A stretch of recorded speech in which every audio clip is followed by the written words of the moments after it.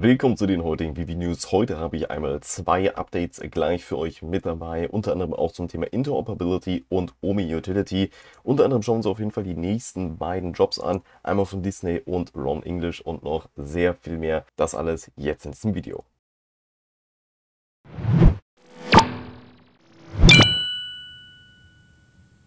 Willkommen an Bord, ich bin Stein Captain, dein VVOG mit den wichtigsten VV-News, die du da draußen definitiv nicht verpassen solltest. Und deswegen würde ich auch direkt sagen, starten wir heute ins Video rein, aber erst, wenn du da draußen den Kanal abonniert hast und da du das Ganze jetzt gemacht hast, würde ich auch sagen, starten wir direkt rein ins Video.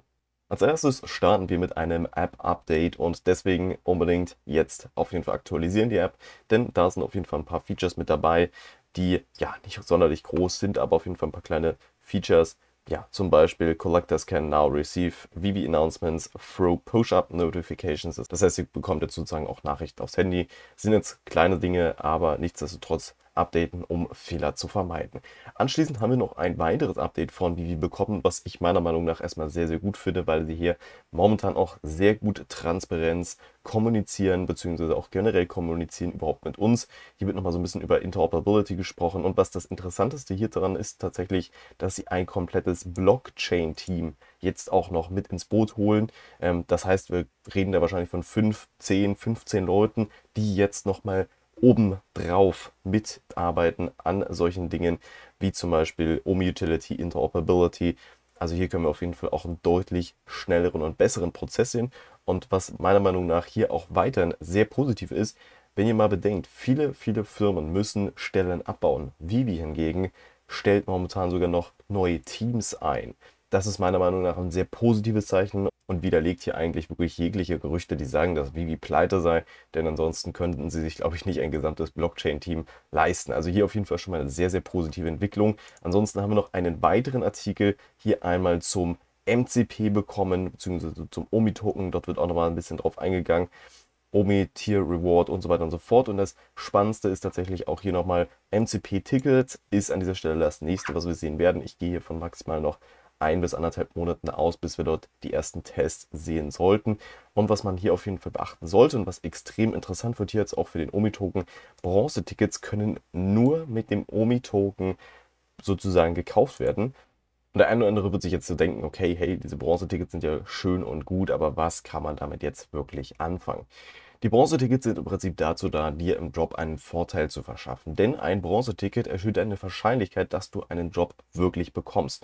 Und was das Besondere ist, du kannst es auch wirklich nur mit Omi-Token kaufen, was wiederum den Defekt hat, dass natürlich extrem viele Omi-Token aus dem Circulation Supply genommen werden von Leuten, die halt sich mit Omi-Token Bronzetickets kaufen, um eine höhere Wahrscheinlichkeit beim Job zu haben.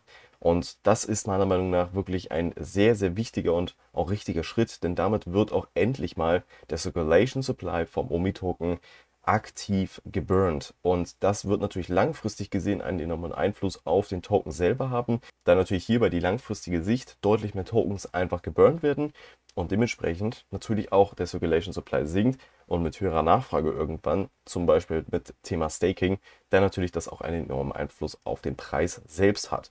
Dementsprechend meiner Meinung nach auf jeden Fall eine sehr gute und positive Entwicklung hier. Ich werde euch auf jeden Fall beide Artikel nochmal unten in die Beschreibung packen. Ansonsten würde ich sagen, schauen wir uns auf jeden Fall direkt die nächsten Jobs mal an. Das nächste, was wir sehen werden, wird unter anderem eine Concept Art Series sein von Disney wie auch Pixar. Und wir sehen hier an dieser Stelle Concept Art von Elemental und das ist zum Beispiel ein Bild, was wir hier sehen werden, wenn es lädt. Hier sehen wir es einmal. Ja, für mich persönlich jetzt nichts, was ich mitnehmen werde. Das Ganze ist aber auch hier wieder im Waitlist-Format und das ist etwas, was mich persönlich jedenfalls sehr freut, was nämlich an dieser Stelle zeigt, dass hier wirklich mehr auf das Waitlist-System gesetzt wird und es einfach auch zu funktionieren scheint, was meiner Meinung nach wirklich eine sehr gute und positive Entwicklung ist, was das neue Dropsystem angeht. Bis jetzt haben wir es eigentlich für die nächsten Drops überall, bis auf bei den Comics. Ich denke, dort ist es aber tatsächlich auch noch eine Frage der Zeit, bis wir auch das bei Comics sehen werden. Schauen wir uns aber den Drop nochmal ganz kurz an, wann das Ganze droppen wird. Wir sehen hier insgesamt fünf Poster und das Ganze wird am Freitag um 17 Uhr deutscher Zeit droppen im Blindbox Waitlist-Format meiner Meinung nach auf jeden Fall kein Drop, den ich mitnehmen werde. Wir werden sehen, wie die Edition-Zahl aussehen wird. Eventuell, wenn die Edition-Zahl sehr, sehr gering ist und der Preis auch stimmt, könnte das Ganze über Floorpreis landen. Meiner Meinung nach aber auch wirklich ein großer Gamble an dieser Stelle. Und wir haben tatsächlich auch den nächsten Drop von Ron English mit dabei. Und hier haben wir nämlich auch wieder das Waitlist-Format mit dabei, beziehungsweise das Waitlist-Drop-System. Und dementsprechend hier auch nochmal wirklich eine Bestätigung, dass hier bei den Collectibles jedenfalls, dass mit der Waitlist jetzt fortgesetzt wird. Das Ganze hier von Ron English werden wir am Sonntag um 17 Uhr deutscher Zeit sehen mit insgesamt sechs Digital Collectibles. Das werden hier einmal diese Pop Aganda Collectibles sein. Für mich persönlich absolut gar nichts, was ich mitnehmen werde. Ich kann damit überhaupt null anfangen, obwohl ich Ron English seine Kunst an sich eigentlich gar nicht schlecht finde. Ihr könnt mir aber auf jeden Fall mal unten gerne in die Kommentare schreiben, ob du den gesamten Drop hier mitnimmst oder nicht.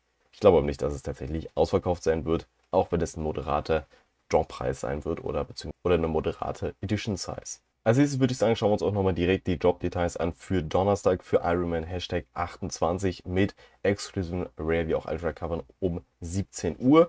Das Ganze hier auf jeden Fall mit einer Summer Limited Edition und ihr seht jetzt hier auch schon, hier ist es nur ein Blindbox-Format und kein Blindbox-Waitlist-Format. Dementsprechend, ja, bei den Comics müssen wir uns wie gesagt noch gedulden. Das sind einmal die Cover, die wir hier insgesamt sehen werden. Go-Collect-Daten sind an dieser Stelle nicht gerade vielversprechend und ansonsten hat das Ganze hier eine Edition Size von 7500 Stück, das Ganze Listenpreis wie immer von 7 Gems und es beinhaltet hier natürlich die First Appearance von Howard Stark, der Vater von Iron Man. Nichtsdestotrotz, ich glaube nicht persönlich, dass das ein gutes Comic sein wird, was gut gehen wird. Ähm, dementsprechend für mich auf jeden Fall an dieser Stelle ein Skip. Und ansonsten kommen wir auf jeden Fall zu sehr positiven Daten aus den USA. Ein bisschen abseits jetzt an dieser Stelle von Vivi, aber es ist natürlich auch ein ja, Faktor, der Vivi im Großen und Ganzen beeinflusst, denn es geht natürlich auch um die Wirtschaft. Und hier fällt nämlich momentan die Inflation in den USA auf 4% von 4,9, was wirklich ein sehr, sehr großer Schritt ist. Und dementsprechend hier auf jeden Fall die Zeichen stehen gut. Man wird sehen, ob jetzt noch eine Zinserhöhung morgen kommen wird, beziehungsweise wenn das Video hochlädt bei euch heute. Ich bin auf jeden Fall sehr gespannt, wie es ausgehen wird, was Paul da kommunizieren wird. Was auf jeden Fall aber auch noch eine weitere Sache war hier, ist nämlich, dass ein Gesetzentwurf noch nicht verabschiedet wurde, aber auf jeden Fall ein Gesetzentwurf darlegt, der auf jeden Fall hier Gary Gensler, den SEC-Chef, rauswerfen soll. Das Ganze ist aber, wie gesagt, an dieser Stelle auch nur ein Gesetzentwurf und wird wahrscheinlich nicht durchgebracht werden, da an dieser Stelle hier ja, Gary Gensler von den Demokraten installiert wurde und es sehr unwahrscheinlich ist, dass die Demokraten hier ihre Meinung ändern werden und ihn rausschmeißen werden, weil die Demokraten prinzipiell eigentlich gegen Krypto sowieso sind. Von daher ja, wird das ziemlich unwahrscheinlich sein, dass er hier wirklich rausfliegen wird. Nichtsdestotrotz, hier auf jeden Fall wollte ich das Ganze mal angesprochen haben. Und ansonsten war es das an dieser Stelle auch schon wieder mit dem gesamten Video. Wenn dir da draußen das gesamte Video gefallen hat, gib dir das Video sehr gerne ein Like. Und ansonsten bedanke ich mich auf jeden Fall riesig bei dir da draußen fürs Zusehen. Und jetzt wünsche ich dir auf jeden Fall noch einen wunderschönen Morgen, Mittag, Abend und bis dahin, dein Captain. Ciao, ciao.